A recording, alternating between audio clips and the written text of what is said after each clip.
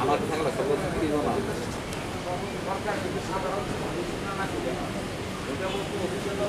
صغيرا ربنا تقبل منا إنك أنت السميع আল্লাহ সদা সর্বদা আপনার হুকুম মেনে চলা তো।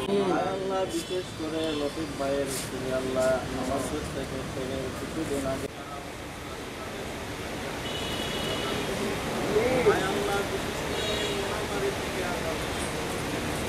আয়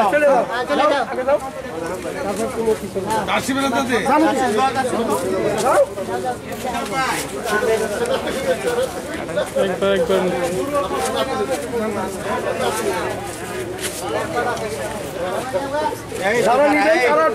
থেকে ফাউন্ডেশনের পক্ষ থেকে আজকে আমরা খাদ্য বিতরণ করছি গরিব দুঃখী মানুষের মাঝে। আজকে পাঁচশো প্যাকেট আমরা বিতরণ করব। করোনা আসার আগেও এই পর্যন্ত আমরা আরও দুইবার আমরা খাদ্য বিতরণ করেছিলাম চাউল ডাউল তেল মরিচ বিতরণ করেছিলাম। আর সামনে যতদিন করোনা থাকবে ইনশাল্লাহ ততদিন আমরা তানিয়া ফাউন্ডেশনের পক্ষ থেকে খাদ্য বিতরণ করব। এটা আমাদের আশা ইনশাল্লাহ আপনারা দোয়া করবেন।